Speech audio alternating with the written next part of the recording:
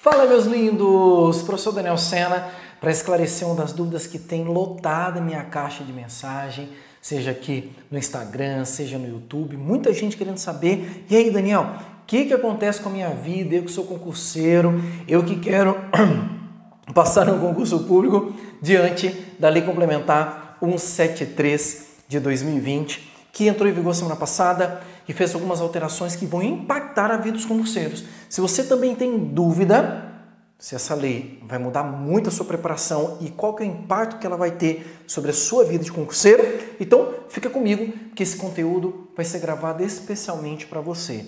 Quero te trazer uma interpretação dos pontos mais importantes da lei, daquilo que realmente você precisa saber como concurseiro. Nós não faremos aqui uma análise jurídica integral da lei, tá? Vamos apenas abordar aqui alguns aspectos relacionados ao, ao universo dos concursos públicos e, posteriormente, trarei para vocês a minha visão de como vocês devem se portar e o que vocês devem fazer a partir desta nova situação que a Lei Complementar 173 de 2020 trouxe para o nosso mundo de concurseiro, tá bom? Aproveito se você curtir esse vídeo, se você achar que essa mensagem aqui tem que chegar a mais pessoas, porra, compartilha ele, cara.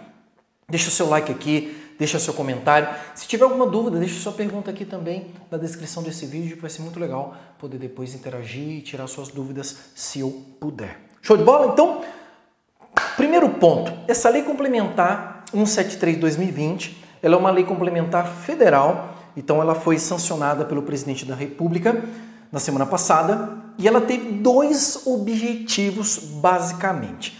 O primeiro objetivo é que ela estabelece um programa federativo de enfrentamento do Covid-19, ou seja, esta lei ela está atrelada à situação de pandemia que o Brasil está vivendo neste momento e ela tem a ver com a ajuda financeira que a União vai dar para os estados e para os municípios e para o Distrito Federal para tentar resolver todo o problema que a pandemia tem trazido, principalmente no que tange aos gastos financeiros. Até porque é, é sabido de todos nós aqui, você não precisa ser muito espertinho para saber não, que todos os entes federativos, União, Estado, DF, município, estão tendo que investir muitos recursos durante este período agora em que o coronavírus está afetando as nossas vidas, tá? Então, esse é um grande objetivo. E para atingir esse fim, ela também promoveu algumas alterações na Lei Complementar número 101 de 2000. Essa lei complementar, para aqueles que não conhecem, é a lei de responsabilidade fiscal. Então, alguns dispositivos da lei de responsabilidade fiscal foram afetadas também para essa lei. Então, basicamente, ela tem esses dois objetivos. Como eu disse para vocês no início, a minha intenção não é fazer uma análise completa da lei, mas especificamente analisar dois pontos que têm sido alvo da maior parte das perguntas que vocês têm trazido para mim. Primeiro ponto, que está diretamente relacionado ao universo dos concursos públicos, é este aqui, proibições durante o estado de calamidade. Então, o estado de calamidade é o estado que o Brasil está vivendo neste momento para tentar conter o avanço da pandemia e tentar restabelecer a normalidade, tá? E aí, um primeiro dispositivo que aparece aqui e com afetação direta para a vida de todos os concurseiros do Brasil é esse aqui, ó. Artigo 8 Esse artigo, ele tem vários elementos importantes e o último dele é o que vai mais importar para a gente. Olha só. Na hipótese de que trata a Lei 65 da Lei Complementar, que trata o artigo 65 da Lei Complementar número 101, que é a Lei de Responsabilidade Fiscal, a União, os estados, o Distrito Federal e os municípios afetados pela calamidade pública decorrente da pandemia do Covid-19 ficam proibidos até 31 de dezembro de 2021. Então, fazendo uma primeira análise aqui para você entender o quanto isso atinge a sua vida, presta atenção. Primeiro ponto de extrema importância nesse artigo 8 é que ele destina a sua atenção para todos os entes federativos. Então, esse aqui é um primeiro momento extremamente importante da nossa análise. Ou seja, antes de você mandar a pergunta para mim assim, ai, e o meu TJ, e a prefeitura X, e o concurso Y, saiba que tudo que nós falarmos no artigo 8 aqui estão relacionados a todos os entes federativos. Então, ele, é, ele vai trazer proibições para União, Estados, DF, município, que estejam neste momento, vivendo este momento de restrições em decorrência da pandemia. E essas proibições, elas vão até Vejam aqui, 31 de dezembro de 2021. Daniel, será que não está errado? Não? Não, isso é o que está na lei que foi publicada no Diário Oficial semana passada. Então, sim, até dia 31 de dezembro de 2021. Então, essas proibições vão atingir todos os entes federativos até o dia 31 de dezembro de 2021, desde que, obviamente, esse ente federativo esteja recebendo os incentivos que a própria lei traz. Vamos às proibições. 1. Um, conceder a qualquer título vantagem, aumento. Então, aqui, ó, servidores, reajuste ou adequação de remuneração a membros do poder de órgãos, servidores, empregados públicos e militares. Então, até aqui, você já está vendo claramente que existe uma proibição de concessão de aumento, ou seja, não vamos mexer em nada que altere a estabilidade financeira. Essa é a ideia, tá? Exceto, e atenção para isso aqui, eu vou até sublinhar com o amarelão aqui do meu marca-texto, exceto, esses excetos aqui são importantes, tá?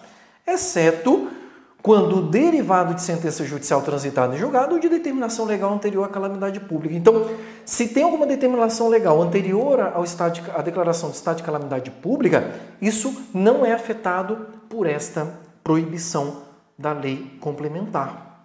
Então, fora estes casos que estão na exceção, todos os outros casos estão, estão albergados por essa proibição.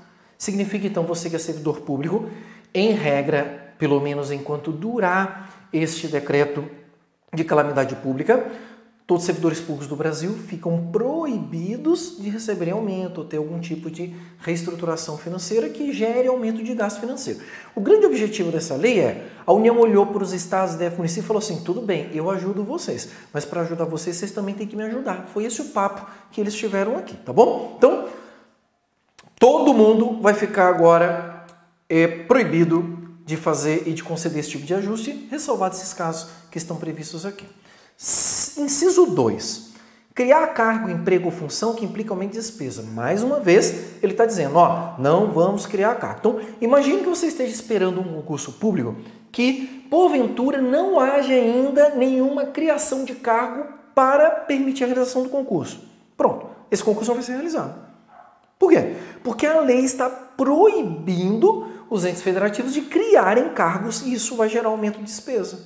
Simples assim, tá? Então, Daniel, então quer dizer que nenhum concurso mais vai ser realizado no Brasil?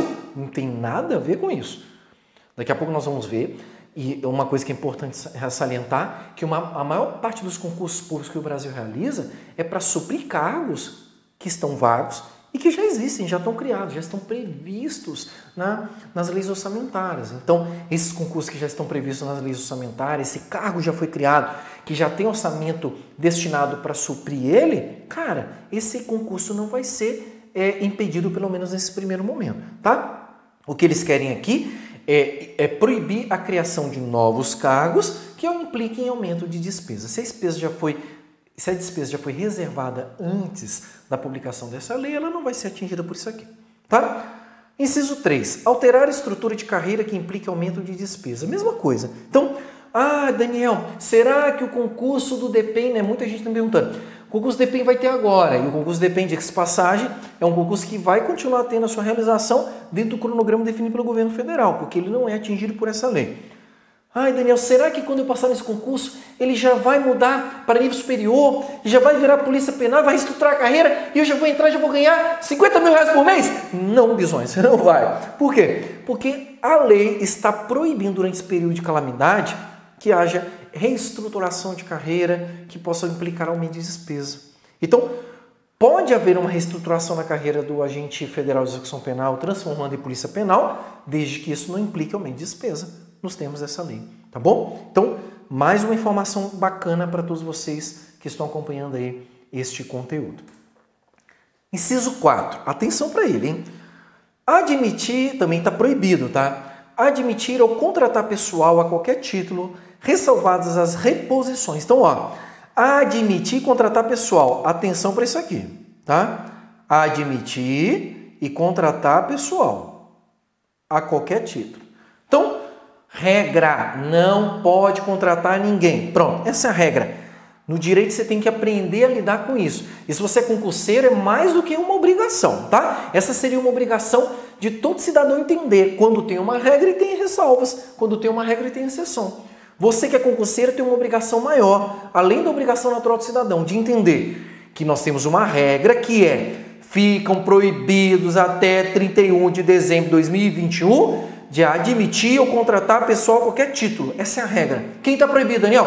União, Estado, DF, município. Tudo bem? Ressalvados. Aqui vem a parte importante para todos os concurseiros. Ressalvadas, como uma boa regra do direito, ressalvadas, meus queridos, ressalvadas. Presta atenção aqui agora, porque é aqui que você queria chegar e essa aqui praticamente responde uma boa parte das nossas dúvidas.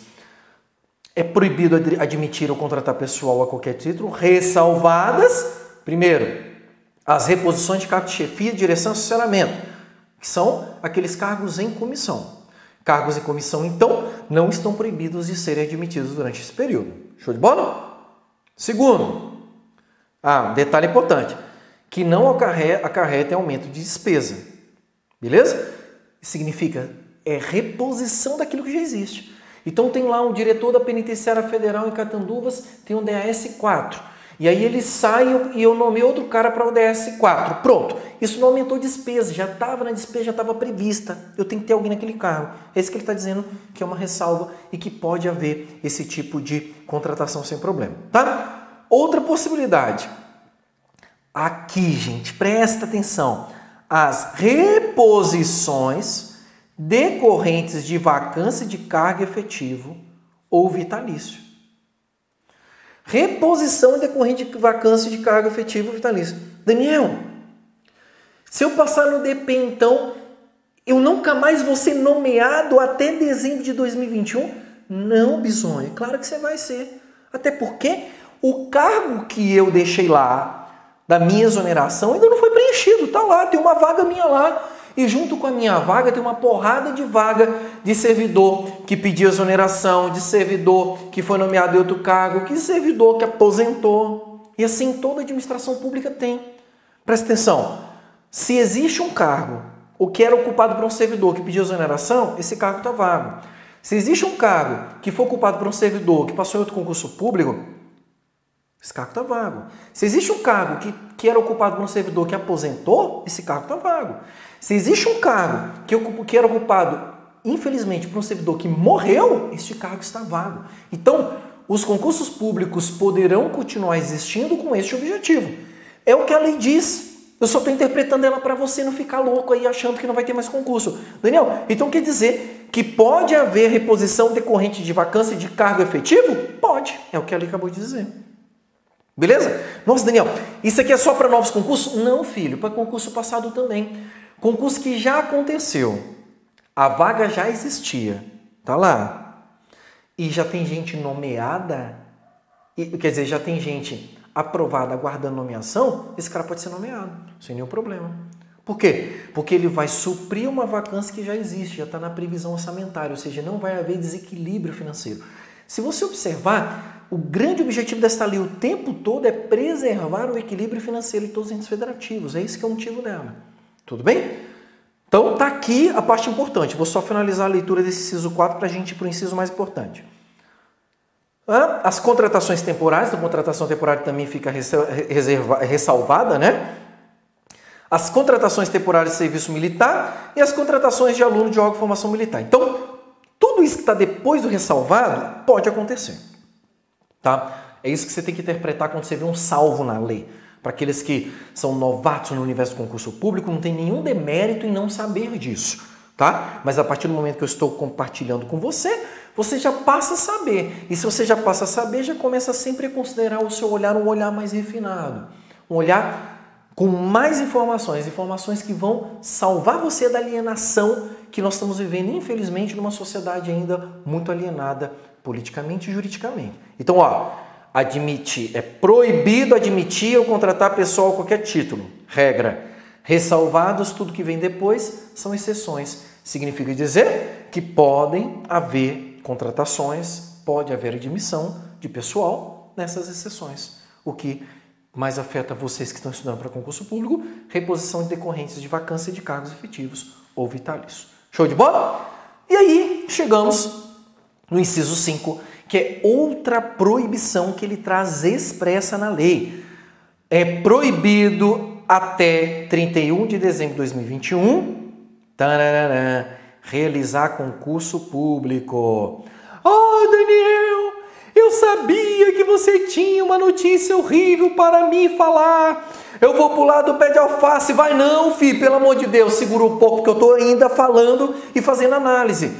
Calma esse faniquito, velho. Presta atenção, vem comigo. Interpretação também. Ó, então, regra da nova lei complementar. Fica proibido até 31 de dezembro de 2021. Quem está proibido, Daniel? União, Estado, DF, município, que foi afetado pela calamidade pública. E ele está proibido de quê, Daniel? Realizar concurso público. Essa é a regra. Ah, eu falei, eu sabia que não ia ter mais concurso. Calma, bisonho. Não acabei de analisar. Olha a parte mais importante aqui para você. Exceto. Exceto o que, Daniel? Reposição de vacância prevista no inciso 4, que é o inciso que acabamos de ler.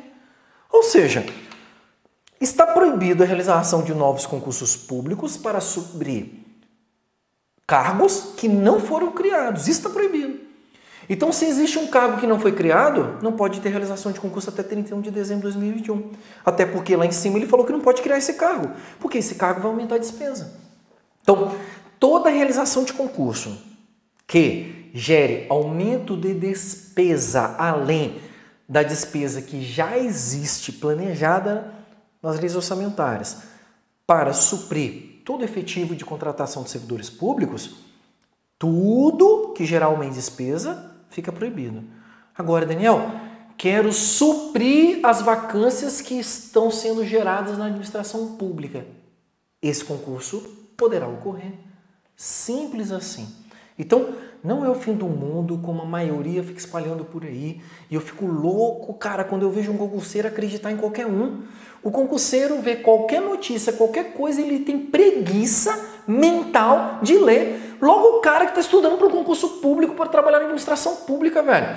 É o mínimo de hombridade que você tem que ter com você mesmo, é parar, ler uma lei, interpretar ela e quando não entender, pedir ajuda. Acabou. Pede ajuda que a gente vem aqui e esclarece para você, tá? Então, a primeira regra que impacta a tua vida é a do artigo 8 que traz aqui proibições durante o estado de calamidade, e como vocês viram, são várias proibições que não impedem a realização de novos concursos e também não impede a contratação de novos servidores que já estejam aí aguardando a sua nomeação para um cargo público, desde que, em ambos os casos, sejam apenas para suprir vacâncias, ou seja, vagas que já existem e que já haviam sido previstas na lei orçamentária. Show de bola? Então, finalizo aqui a primeira análise, que é a análise do artigo 8 e agora vamos para o segundo impacto que nós temos na vida dos concurseiros, que é o artigo 10. Suspensão dos prazos. Olha o que diz o artigo 10. Ficam suspensos os prazos de validade dos concursos públicos já homologados na data da publicação do decreto legislativo número 6 de 20 de março de 2020, em todo o território nacional, até o término da vigência do estado de calamidade pública estabelecido pela União. Então, prestem atenção para você não viajar na maionese. O que, que ele está dizendo aqui? Ele está dizendo aqui que os prazos de validade dos concursos ficarão o quê? Suspensos. Os prazos de validade dos concursos ficarão suspensos. Isso é bom ou ruim? É top. Se você está numa lista de aprovados, e veja, ele está falando aqui já homologados. Então, ficam suspensos prazos de validade dos concursos públicos já homologados na data de publicação. Ai, professor, qual que é a data? Bisonho, tá aqui, ó. 20 de março de 2020. Então, todos os concursos com o resultado homologado até dia 20 de março de 2020 ficam com seus prazos suspensos durante o período de vigência do estado de calamidade. Então, vamos considerar que o estado de calamidade se perpetue até dezembro, até 31 de dezembro de 2021. Até 31 de dezembro de 2021, o concurso ficará suspenso. O prazo de validade dele não corre. e não corre até lá, ele vai ficar suspenso, e aí o parágrafo segundo diz o seguinte: os prazos suspensos voltam a correr a partir do término do período de calamidade pública. Então, tudo vai depender do período de calamidade pública. Tudo bem? E aí ele coloca aqui no parágrafo terceiro a obrigação, a responsabilidade dos veículos, das organizadoras de concurso público para comunicar isso para todos os servidores. Então, para todos os, os aprovados em concurso público. Então, se você está aprovado em algum concurso público e está preocupado com esse período da pandemia, simplesmente atrasar a sua nomeação impedir que você seja nomeado pelo decurso do prazo do seu concurso, que já está para vencer, não se preocupe mais com isso. Por quê? Porque esta lei complementar simplesmente suspende. Para a contagem agora e recomeça a contagem quando acabar o prazo, o estado de calamidade pública. Show de bola? Tá, agora vem a pergunta mais importante de todas. Daniel, isso atinge quais concursos? Atenção para você não esquecer disso. Opa, opa, opa, opa. Atenção para você não esquecer disso aqui. Hein? Presta atenção. Este parágrafo primeiro aqui, ele dizia que era para todo mundo, mas ele foi vetado pelo presidente da República. Significa então que ele é apenas para União. Exclusivo para a União. Então, diferente do outro dispositivo que nós analisamos, que era para todos os entes federativos, esse dispositivo aqui é exclusivo para a União, só afetará os concursos federais. Ponto. Detalhe importante aqui. Hein? Se o Estado quiser fazer uma regra parecida, ele vai ter que fazer uma regra parecida. Se o município quiser suspender o, seu, o prazo dos seus concursos, ele também vai ter que editar uma própria norma dentro da área municipal e o DF é a mesma coisa. De forma que essa suspensão de prazos só atinge os concursos públicos federais. Tudo bem até aqui? Ai, Daniel, e agora? Os concursos estão suspensos? como você, se você acompanhou a minha análise até aqui, é obviamente que você entendeu que os concursos públicos não estão suspensos. Dizer que concurso público está suspenso é uma falha interpretativa do que a lei quis dizer. O que a lei disse foi simplesmente duas coisas. Primeiro, não pode contratar ou fazer concurso para cargos que não existem. Segundo, os prazos dos concursos federais estão suspensos até acabar o estágio de calamidade. Fora isso, é interpretação ingênua de quem não consegue interpretar a lei. Ok? Daniel, então está tudo normal, como um mar de rosas, tudo lindo, maravilhoso, segue o bonde do jeito que estava? Óbvio que não, filho. Se você acha que está tudo normal, você não está entendendo nada que está acontecendo no mundo. Você está tipicamente alienado. Recomendo fortemente que você saia do seu estado de alienação, sob pena de você perder momentos graciosos da sua própria vida. Meu querido, não está tudo normal. Está tudo foda. Está tudo difícil. E por que, que não está tudo normal e está tudo difícil? Porque está difícil para você estudar durante esse período de pandemia, com todas as incertezas que nós estamos vivendo. Está difícil para você se planejar, está difícil conter o seu estado emocional, principalmente para aqueles que já sentiram de perto os efeitos da pandemia com a morte de alguém querido, alguém próximo. O momento está foda.